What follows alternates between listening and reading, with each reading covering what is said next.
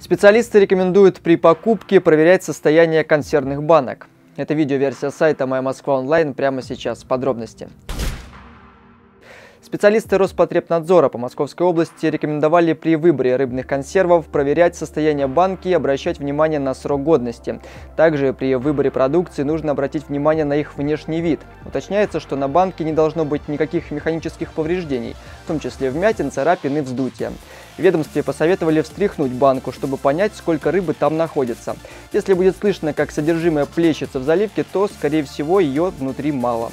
Предпочтение нужно отдавать плотно набитым консервам или консервам под стеклом.